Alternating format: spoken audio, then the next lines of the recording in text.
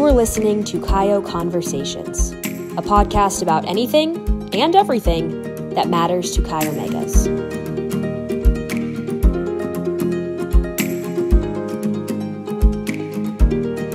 Hi, everyone, and welcome to another episode of our podcast. Thank you for joining us. I'm Leslie Harrington, CEO for Chi Omega, and today we are thrilled to welcome Olympic athlete and sister Laura Bennett, initiate of the Iota Alpha chapter at SMU. In high school, Laura quickly emerged as a standout swimmer and track runner, which led her to a walk on scholarship at SMU, where she clinched an NCAA championship title. And her steadfast commitment and discipline paved the way for her remarkable success on the Olympic stage. She has represented the United States at multiple Olympics with a notable fourth place finish in the 2008 Beijing Olympics. She has also proven her athletic prowess at 14 world championships and has won four USA national titles alongside a long, long list of other titles, domestic and international. In the year 2000, Laura's path intersected with a man by the name of Greg Bennett, a fellow Olympic athlete from Sydney, Australia. The two are now married with two children and living in South Florida. Laura spends her time today promoting health and wellness to other mothers and friends, encourage, encouraging each of them to live their lives with intent and to optimize their potential, whatever that potential may be. So, Sister Laura, welcome to Chi O Conversations. Thank you for taking the time to join the chat today.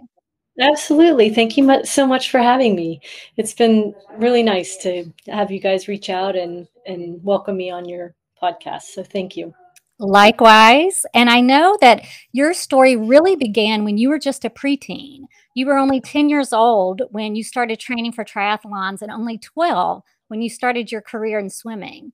So I want to know who introduced you to sports and how did you stay so focused with all the preteen distractions? Yeah, sure. Okay, so my dad was always a runner and so he would do fun runs on the weekends with my brothers who are basically 5 and 6 years older than I am. And so I think I was just always um, interested in sport and, you know, very not, you know, athletic or whatever. That was probably where my talent lied as as a young kid and my desire to to just be outside and and playing games. So that led me into doing some running races with my dad. And then um, my next door neighbor um, most of the neighbors actually I had were boys, and they were always so much more fun because they would be outside and playing sport and doing things. And so it just ended up that way. And my next door neighbor was um, a swimmer, and his mom, you know, said, you know, you should come out for the swim team.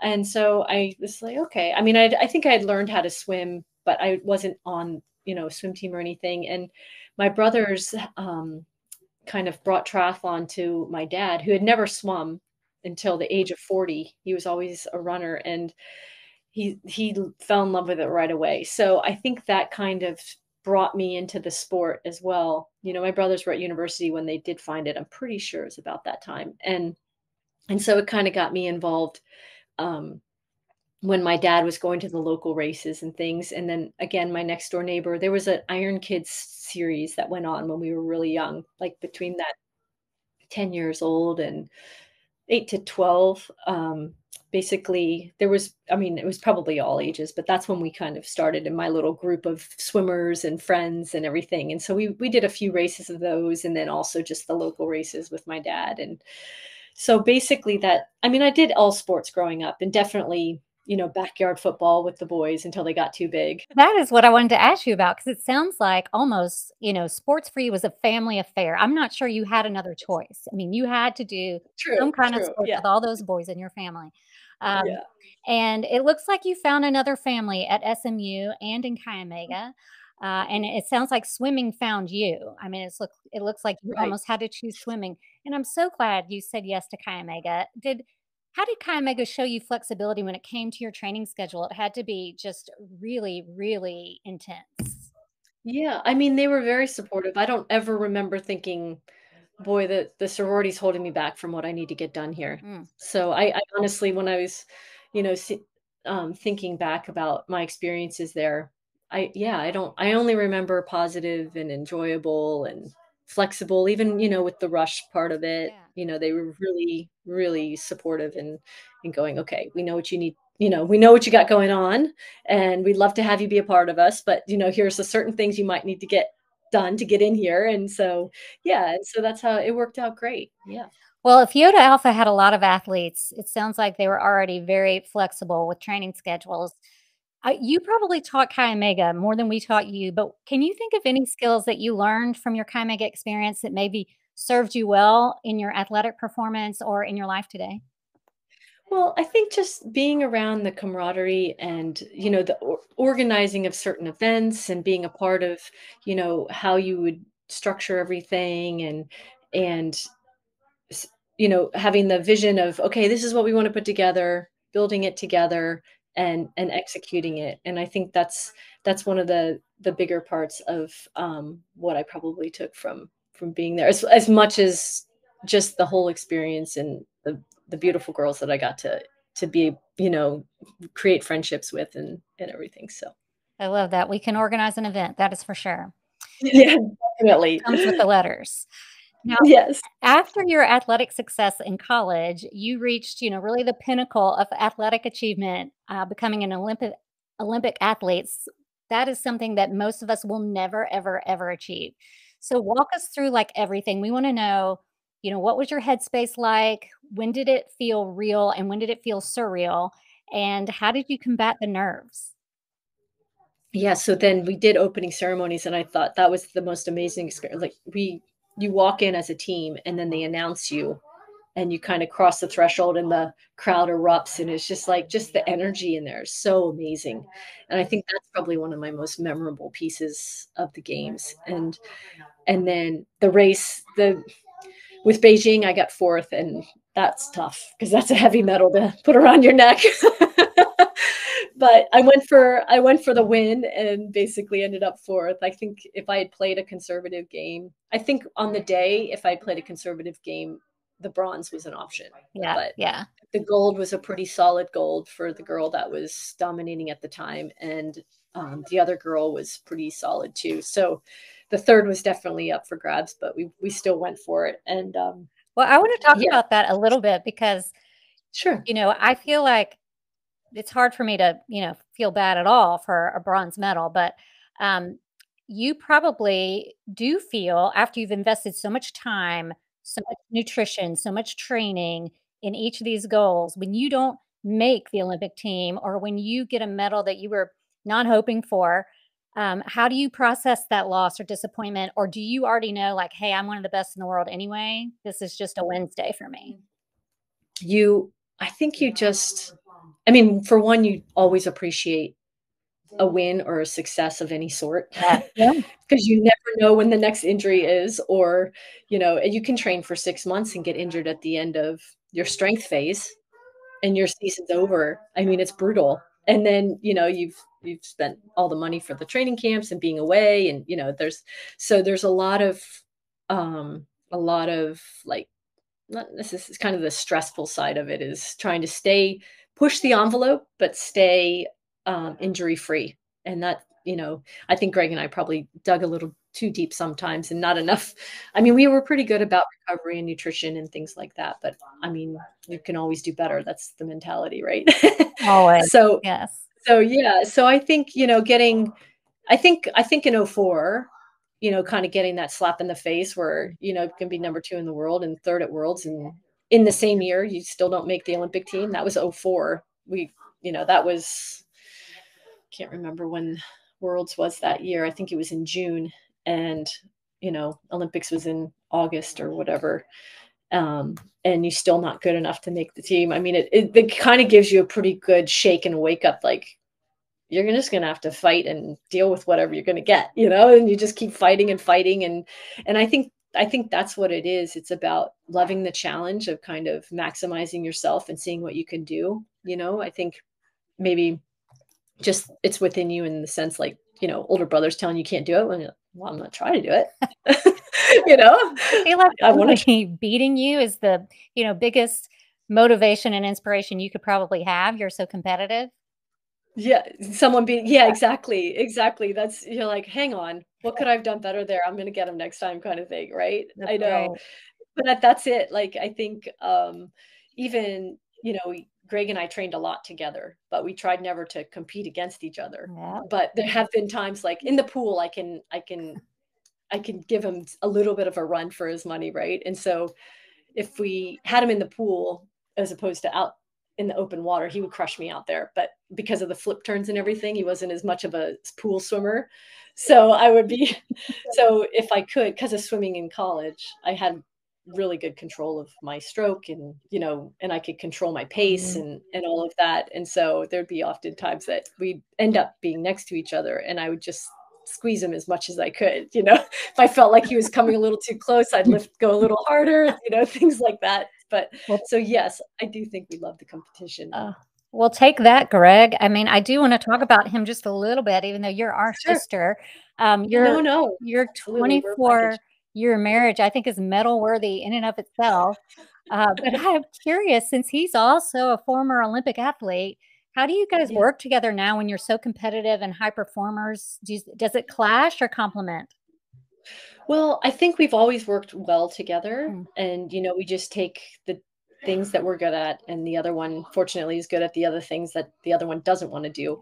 But since we stopped racing, um, because we've we were so much later, like you know being um, together for so long and our and our age or whatever we we kind of no he he loves to tell this story so we were kind of we we were kind of retired but we were doing more um just we'd go mountain biking in the afternoon this is before kids yeah. and then come back and we we lived in boulder and we, uh, we our house at the time was in an open space mm. so we could sit on the deck and it was beautiful and we'd be having like every now and again having beer and charcuterie mm. And one of the times I was like, there's got to be more to life than this. And he's you like, done. You were not done. oh, he was furious. He's like, so hence kids. And so every time the kids are acting up, he's like, really? More to life? Really? You had to have this. you did this to us.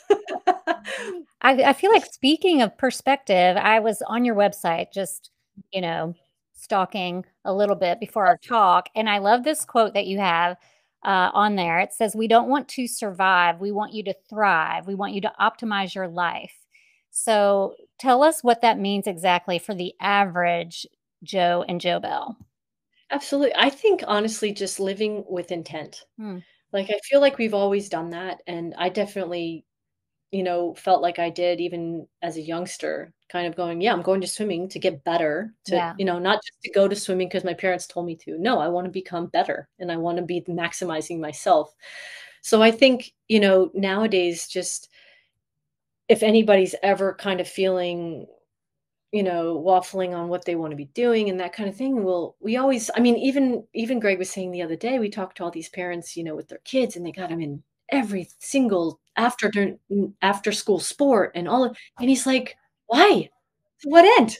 Like what are you guys doing? Like like to what is your what's your intent with all of this? And it, i mean i think to some degree exposure is one but some of the kids i mean they're we just do free play after school yeah. you know? I mean fortunately you know i've got the two that was our goal to have them close so they could be buddies and so that they could play together and then we just are with them all the time and you know they're playing. Yeah. But um but a lot of people of course would have one child or or the kids are so separated that they're they don't really play because it's three or four years apart and that kind of thing. But ideally you know i think we think of it as like um just understanding why you're doing what you're doing and and taking a step back and thinking about it. Because we often talk about um you know the girls today and what you know can you have it all? Like because i feel like a lot of girls in that 30 i'm i'm in the 30 year old group. I'm not 30 yet i'm in that group because uh-huh. i waited so long to have kids. Sure, yeah. So you know the, all the 36s and all of that i'm i'm a great deal older right? And so basically um they feel conflicted because they basically are they love their job but they don't want to miss having kids but then they feel like they don't want to leave their job but they don't feel like they can stay with the you know they feel like they have to still be in work and i i just feel like it's such a short period of time in your life mm-hmm. like it really is 5 years for those of us that are not natural athletes and and mm-hmm. those of us that might be in our selfish focus on me time